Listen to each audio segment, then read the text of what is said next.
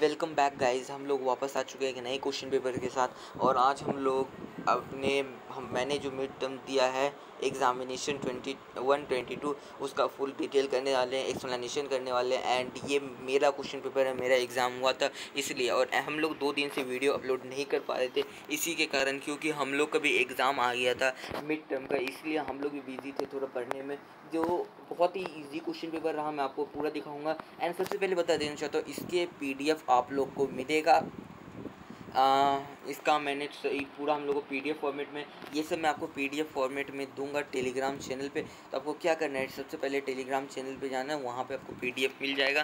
पहले आप यहाँ पे थोड़ा वीडियोस देख लीजिए। आपको मैं पूरा बता देता हूँ कैसे करना है। टेलीग्राम का वीडियो अपलोड होने के बीस मिनट बाद आएगा। मैं आपको कुछ इससे क्वेश्चन पेपर दिखा देता हूँ जिनके पास टेलीग्राम नहीं होगा और जो टेलीग्राम एक्सेस नहीं कर पाएँगे। मतलब क्वेश्चन बहुत ईजी आया था इसलिए हम लोग ने थोड़ा सा एक दो एम जो सीरीज़ स्टार्ट किया नाइन टेंथ का वो थोड़ा स्टॉप कर दिया क्योंकि मेरा भी एग्ज़ाम आया है। आप लोग देख सकते हैं, इसी बार का D public school Jharkhand zone C mid term twenty one twenty two इस पर गौर कीजिएगा। इस बार का एग्ज़ाम है, इस बार का पैटर्न पे जिनका अभी तक एग्ज़ाम नहीं हुआ, उनका हो सकता है, और जिनका नवंबर, दिसंबर में एग्ज़ाम है। तो आप लोग के बहुत ज़्यादा बेनिफिट होने वाला है। मैं सारा क्वेश्चन अपलोड करूँगा। आप लोग जल्दी जल्दी इस सबको देख लेना। बिल्कुल बहुत ही अच्छा क्वेश्चन पेपर है। आप लोग का बहुत ज़्यादा हेल्प होने वाला है जो जो इस बार एग्ज़ाम दे रहे हैं, उन लोग का बहुत ज़्यादा ही हेल्प होगा।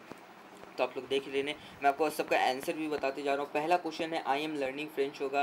इसका सॉल्यूशन भी आपको टेलीग्राम पे भी मिलेगा। मैं आपको इतना बड़ा वीडियो तो बना नहीं सकता तो इसका मैं सॉल्यूशन फुल अभी डाल नहीं पाऊँगा। आपको ये सारा सोल्यूशन टेलीग्राम पर ज़रूर मिलेगा। या उसका अलग से वीडियो आएगा। इसमें खाली मैं क्वेश्चन पेपर दिखा दे तो आई एम लर्निंग फ्रेंच होगा। इसका टू का सी आउट टू होगा। क्योंकि जब हम लोग किसी को मतलब कि रिस्पेक्ट करने बोलते हैं, किसी एल्डर्स को तो आउट टू लगता है। आप लोग भी जानते होंगे। Some of the furniture needs होगा। कुछ फर्नीचर को चाहिए। एंड ये सब तो बहुत ही इजी है। एनी मनी होगा। तो आप लोग को ये बहुत ही इजी क्वेश्चन पेपर आया था, मैंने खुद देखा है एंड बहुत ज़्यादा अच्छा एग्ज़ाम भी गया है तो आप लोग देख सकते हैं एंड इसमें अलग टाइप का इस बार लेटर्स आया कि पूरा लेटर नहीं दिया उसका खाली फॉर्मेट करना है। इस बार लग रहा था जैसे वैसे ही फॉर्मेट टाइप से आया है तो भी बहुत ईजी है क्योंकि पूरा लेटर पढ़ने से बच गए। तो आप लोग जल्दी जल्दी देख लीजिए, इस टाइप को एक आइडिया है जिनका एग्ज़ाम होने वाला है। तो मैंने एक बार वीडियो अपलोड कर दिया था बट उसमें गलती से मैंने साउंड डालना भूल गया था। इसलिए ये सेकेंड टाइम मैं रिकॉर्ड कर रहा हूँ। तो आप लोग जल्दी से जल्दी देख लिया और मेक श्योर इस वीडियो को आप लोग को लाइक कर दीजिएगा क्योंकि बहुत हम लोग को मेहनत लगा और क्वेश्चन पेपर भी आएगा, क्योंकि मेरा भी दो एग्ज़ाम हो चुका है। एंड जल्दी, जैसे जैसे एग्ज़ाम होगा, मैं वैसे अपलोड करने जाऊँगा। एंड क्लास एट नाइन वाले को बोलना चाहूँगा प्लीज़ आप एक दो दिन और, नहीं, एक दो दिन नहीं, तीन, चार दिन और वेट कीजिए, क्योंकि हम लोग का एग्ज़ाम ख़त्म होगा तभी ना, क्योंकि हम लोग को भी सेमेस्टिव ऑब्जेक्टिव बहुत सारी चीज़ प्रिपरेशन करना है। हम लोग को यहाँ सब्जेक्टिव से आया, ऊपर में ग्रामर का देखें, ये सब subjective type M C Q है। सारा चीज़ सब्जेक्टिव है। तो आप लोग लेटर टू द गॉड वाला भी बहुत फेथ था। ये story letter is all about faith faith था बहुत।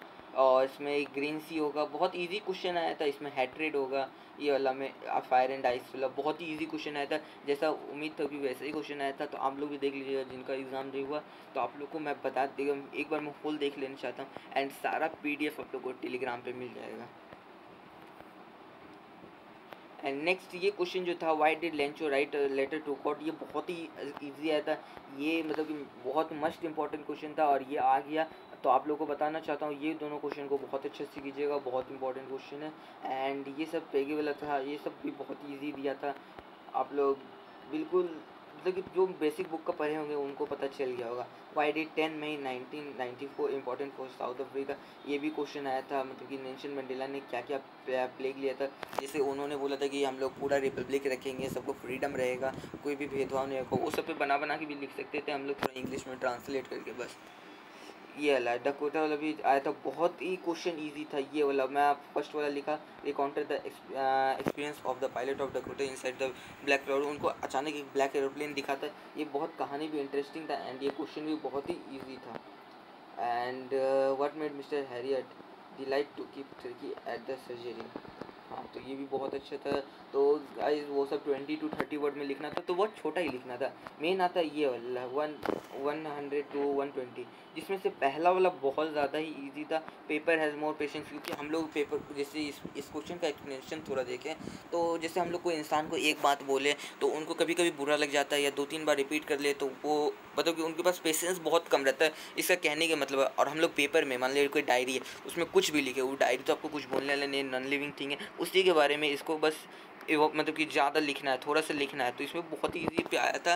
एंड बॉल पोएम के बारे में लिखना था तो ये पहला वाला ही है। एंड आप लोग देख लिए thirty number question and question paper खत्म। देख रहे हैं कितनी गाइस कितना ईजी क्वेश्चन है। और जिनको बता देना चाह रहा हूँ, जो जो फेक बोल रहे हैं, ये आप लोग देख लिए। टी पब्लिक स्कूल ऑफिशियल के ऊपर है मिड टर्म एग्जामिनेशन है। एंड ये सारा क्वेश्चन उन्हीं लोग का ऑफिशियल है। ये हम लोग का ऑनलाइन एग्ज़ाम हुआ है। चलिए गाइज़ स्कूल की तरफ़ और टेलीग्राम पे अपलोड हो जाएगा। Thank you guys for watching this video आपको लाइक करना है। नेक्स्ट क्वेश्चन पेपर लाइक ही हम हम लोग ट्वेंटी रखते हैं। बस ट्वेंटी